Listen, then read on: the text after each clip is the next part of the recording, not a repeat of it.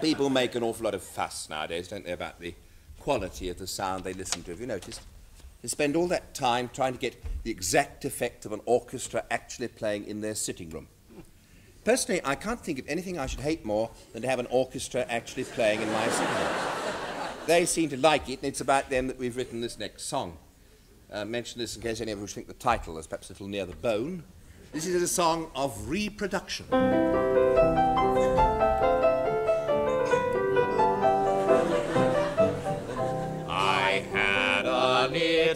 Gramophone. I'd wind it round and round, and with a sharpish needle, it made a cheerful sound.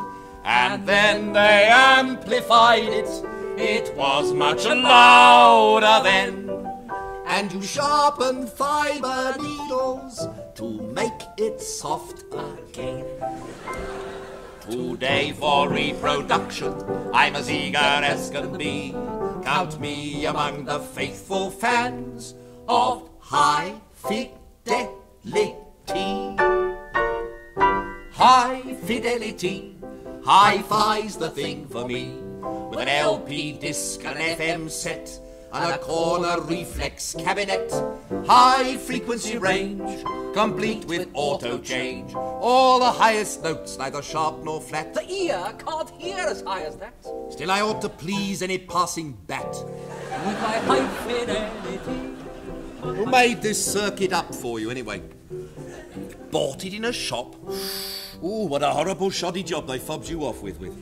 Surprised they let you have it in this room anyway. The acoustics are all wrong. If you raise the ceiling four feet, put the fireplace from that wall to that wall, you'll still only get the stereophonic effect if you sit in the bottom of that cupboard. I see, um, I see you've got your negative feedback coupled in with your push-pull input-output. Take that across through your Reddit pickup to your tweeter. If you're modding more than eight, you're going to get wow on your top. Try to bring that down through your preamp rumble filter to your woofer. What'll you get? Flutter on your bottom. High fidelity. FFRR for me. I've an opera here that you shan't escape. On miles and miles of recording tape, high decibel gain is easy to obtain with the tone control at a single touch. Bel canto sounds like double Dutch. Then I never did care for music much. It's the high fidelity.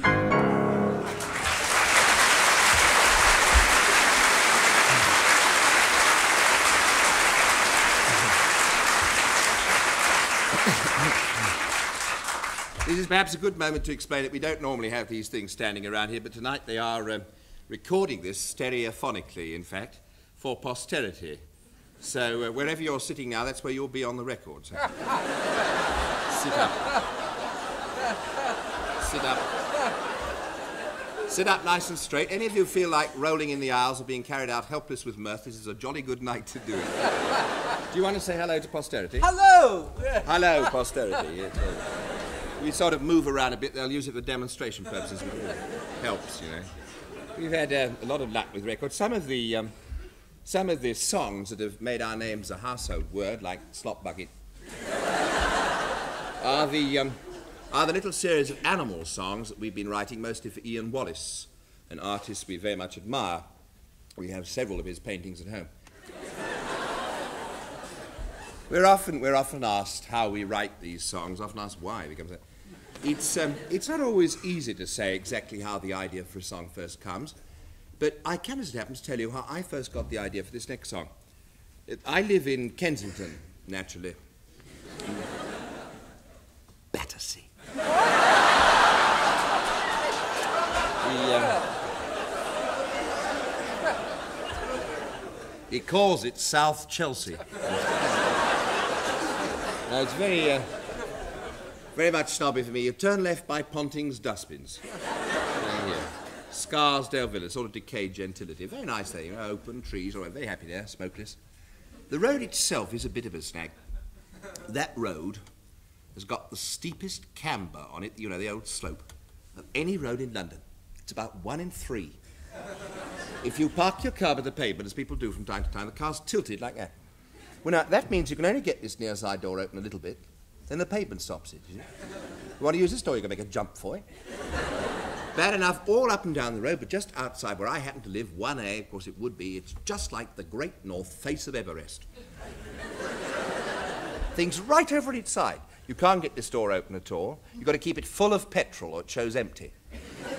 I, I can't use this door. I've got to get out, get to this thing, see, on the pavement. Well, I, um, I wrote to the local council about this. Very nice about it, you know, elections coming up and so on. But then uh, we, we have got a, very, a jolly decent lot of old burghers on our council. Mm, get them sticking up flags on the town hall, I'll tell you that much. Then our council is, of course, strictly non-political. They're all conservatives. They, um, they took, um, they took a bite out of the paper. They didn't do it themselves. They sent a chap round. A chap with a chain round his neck. And there, um, there is just one spot now where I can drive up in a comparatively lordly fashion and get out very nicely. Thank you. Thanks to the borough engineer, you see. At least I could. But you know, every day when I get back from my daytime work with the Submerged Log Company, I find another car has parked in that spot. Would you credit it? Always the same one, day after day, a great, big, horrible, flashy thing with teeth. It's, it's got an engine at both ends. Never seen the owner, just the car. I have done everything to shift it, you see me? Oh. I put little notes under the windscreen wiper saying, do not park here. You shall smart for this.